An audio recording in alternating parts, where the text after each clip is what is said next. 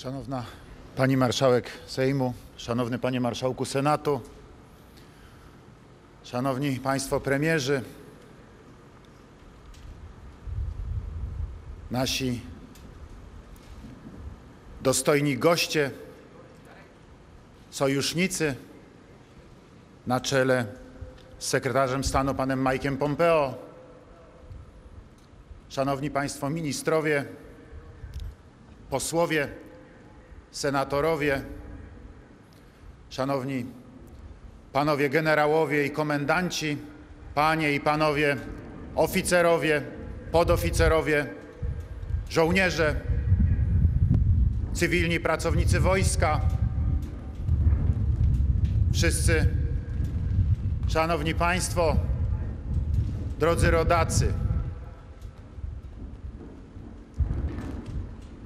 setna rocznica wielkiej Wiktorii Warszawskiej i święto Wojska Polskiego.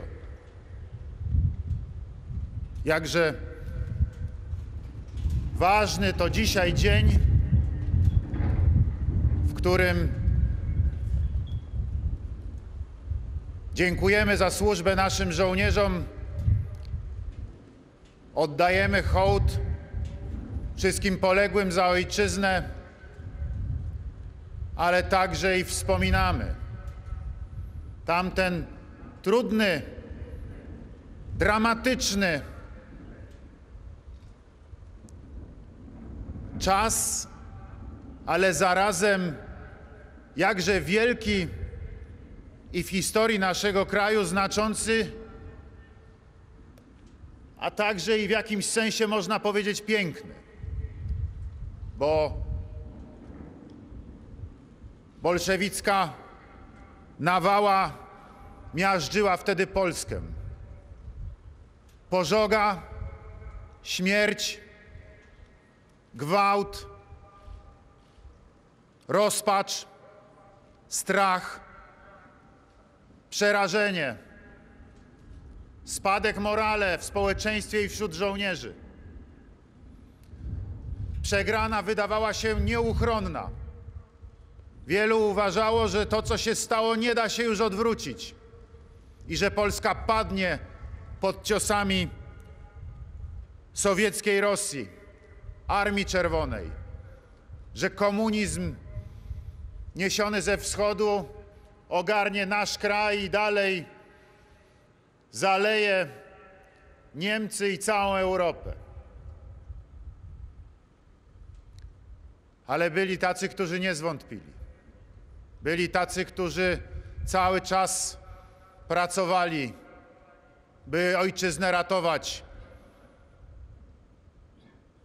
Byli wielcy przywódcy, ojcowie dopiero co odzyskanej niepodległości. Byli wielcy dowódcy wojskowi na czele z marszałkiem Józefem Piłsudskim. Był Wincenty Witos, który stworzył wtedy na prośbę naczelnika państwa rząd obrony narodowej. Rząd, w skład którego weszły wszystkie stronnictwa parlamentarne. Rząd, który był rządem ponad politycznymi podziałami. Był rządem ratowania państwa. W tamtych jakże trudnych dniach, kiedy bolszewicy stali na przedpolach Warszawy, oni zdecydowali się wziąć odpowiedzialność za losy państwa i społeczeństwa w swoje ręce. Od strony administracyjnej, jakże trudnej wtedy sytuacji, kiedy trzeba było zaopatrywać wojsko, kiedy trzeba było zapewnić transport, kiedy trzeba było Polskę także i ratować od strony dyplomatycznej. Traciliśmy wtedy Zaolzie, przegrany plebiscyt na Warmii i Mazurach, niepokoje na Śląsku, które w efekcie skutkowały drugim powstaniem śląskim właśnie w sierpniu 1920 roku. Trudno sobie to wszystko wyobrazić dzisiaj. Dramatyczna sytuacja, a jednak dali radę. Co za piękny przykład. Właśnie ponad podziałami politycznymi, bohaterstwem, wezwaniem całego narodu, niezależnie od przekonań, do obrony Rzeczypospolitej. Szli chłopcy z polskich wiosek, wzywani odezwą Wincentego Witosa. Zaciągali się do wojska, chwytali za broń. Za broń chwytały nawet dzieci, po to, by bronić Polski, by bronić Warszawy, by bronić świata naszych wartości, chrześcijaństwa, naszej tradycji.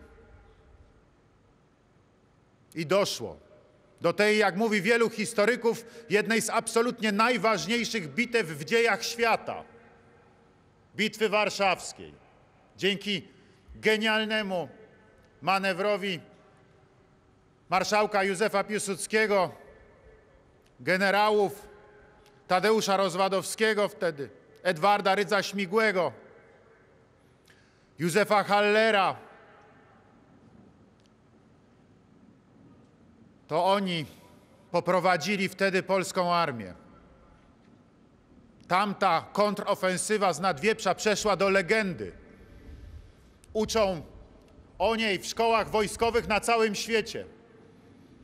Genialny manewr, który przełamał front i doprowadził do okrążenia, do wyjścia na tyły rozciągniętych sowieckich linii i pognali Sowietów z powrotem na wschód, przechylając szale tamtej wojny nagle w kierunku polskiego zwycięstwa z całkowitej, jak się wydawało, przegranej. Łzy wzruszenia stają w oczach, jak sobie człowiek o tym pomyśli. I trudno sobie dzisiaj to wyobrazić. Niektórzy nazwali to potem cudem nad Wisłą. Jakiś cud z pewnością był. Cud geniuszu, cud opieki opatrzności nad naszym krajem i nad naszym narodem. Byliśmy wtedy mężni, odważni, ponad wszelką miarę, walcząc przecież na różnych frontach, bo i na tym przeciwko bolszewikom, i zaraz później w drugim powstaniu śląskim, który, które, jak podają historycy, zaskoczyło Niemcom, zaskoczyło Niemców sprawną organizacją i rozmachem. Byli pewni, że w tamtym trudnym dla Polski i Polaków czasie Polacy nie dadzą rady się zmobilizować, nie dadzą rady zapewnić siły militarnej, a daliśmy radę. Tak, to był cud.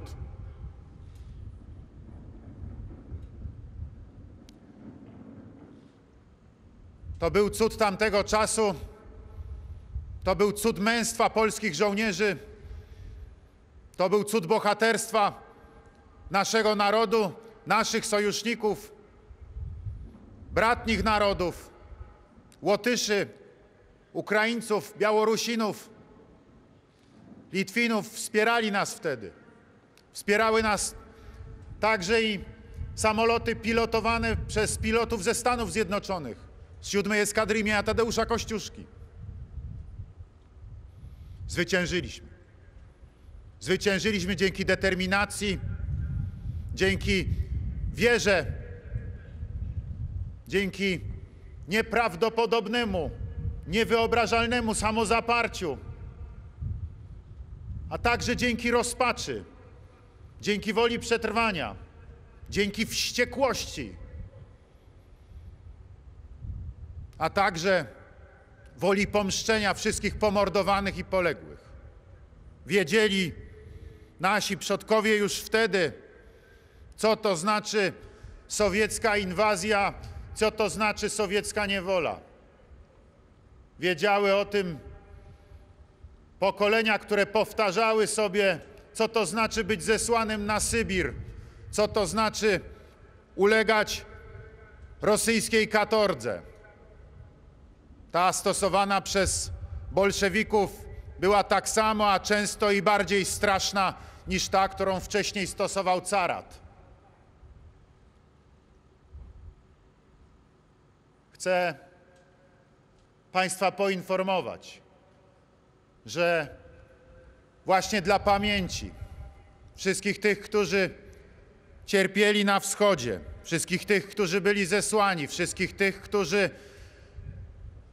byli tam maltretowani przez bolszewików na Syberii. Podpisałem dzisiaj ustawę o rekompensacie dla tych, którzy w latach 1936-1956 byli deportowani przez władze Związku Sowieckiego.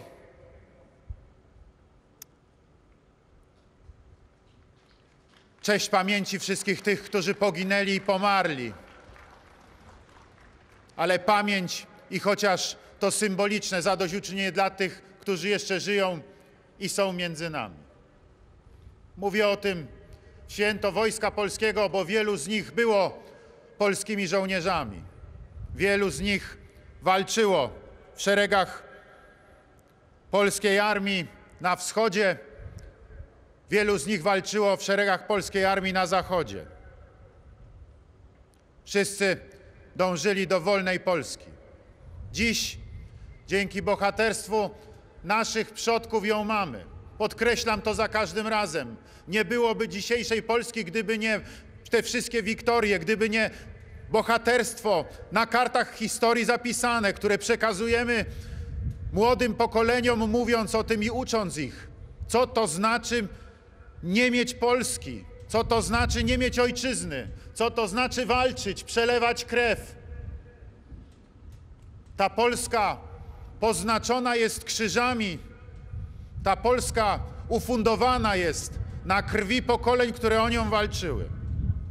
Wiedzą to doskonale także i dzisiejsi polscy żołnierze. Wiedzą to doskonale i dlatego z podniesioną głową służą dzisiaj ojczyźnie, ciesząc się tym, że jest wolna, ciesząc się tym, że jest suwerenna, ale wiedząc o tym, że niepodległość, wolność, suwerenność nie jest dana raz na zawsze, że trzeba ją pielęgnować, trzeba o nią dbać i trzeba być gotowym jej bronić. Dziękuję Wam, żołnierze, za to z całego serca. Dziękuję Waszym najbliższym. Dziękuję wszystkim także i cywilnym pracownikom Wojska Polskiego.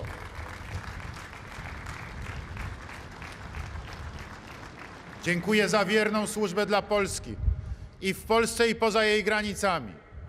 Dziękuję za to, że gdy trzeba, umiecie wraz z sojusznikami dzisiaj z Sojuszu Północnoatlantyckiego stawać i walczyć także za wolność innych, broniąc ich, broniąc pokoju, broniąc spokoju i możliwości spokojnego życia, także dla innych narodów.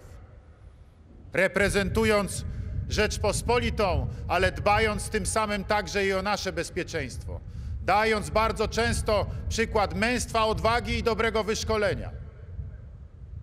Dziękuję Wam za to z całego serca. Dziękuję Wam za to, jak służycie ojczyźnie i jakie świadectwo o polskim żołnierzu dajecie na całym świecie. To właśnie dzięki Waszemu męstwu, dzięki Waszej służbie dzisiaj w naszym kraju obecni są nasi sojusznicy i są z nami na tej uroczystości. Dzisiaj także i wojska państw NATO, w szczególności Armii Stanów Zjednoczonych, wspierają nas także na terenie naszego kraju, po to, by Polska była jeszcze bezpieczniejsza, po to, by dawać także i świadectwo sojuszniczej siły. Świadectwo, które odstrasza wszystkich ewentualnych potencjalnych napastników. Odstrasza skutecznie i dzięki temu jesteśmy bezpiecznym państwem, możemy żyć spokojnie i możemy się rozwijać. Ale tak jak powiedziałem, to także zasługa poprzednich pokoleń, wszystkich tych, którzy za Polskę przelewali krew, wszystkich tych, którzy niezłomnie bronili i walczyli o wolność, o niepodległość, o suwerenność.